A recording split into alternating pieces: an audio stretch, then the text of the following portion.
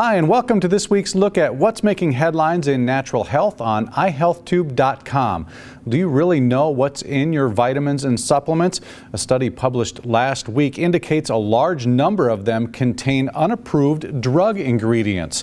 The study found nearly 800 over the counter supplements sold from 2007 to 2016 contained these ingredients. Most of the products were marketed for either sexual enhancement, weight loss, or muscle building.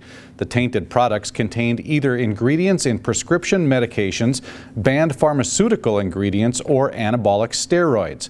Any of those ingredients could cause specific health issues when used or mixed with other products. More than half of the adults in this country use dietary supplements, which is a $35 billion a year industry. Well, there's more evidence that help for your brain could come from your gut. A study out of Kentucky is showing another link between cognitive health and diet in animals.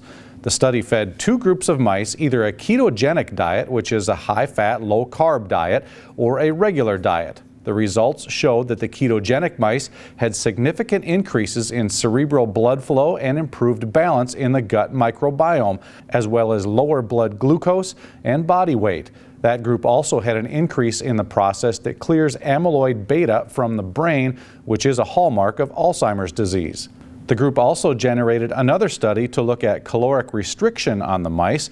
Those results showed that caloric restriction turned back the clock for aging mice. The neurovascular and metabolic functions were better than younger mice on an unrestricted diet. The lead author said it's too early to tell if these modifications will have the same benefits in humans, but that a study could follow very soon. Finally, there might be more than you think to that advice to sit up straight. A study in Europe looked at electrical activity in the brain of subjects performing visual working memory tasks while at rest and during exercise and different postures. The results showed that both aerobic exercise and upright posture improved visual working memory compared to passive and seated positions. The lead author said that even though we've become more sedentary, our brains likely perform better while our bodies are active. That's a look at what's making headlines in natural health this week.